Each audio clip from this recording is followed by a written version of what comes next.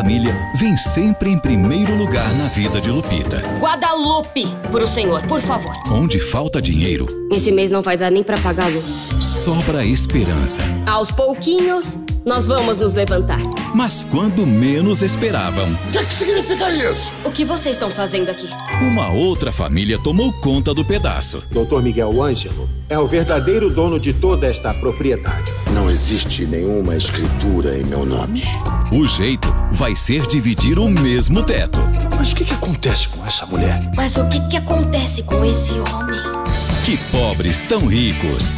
Estreia dia 23, 5 horas, nas novelas da tarde do SBT.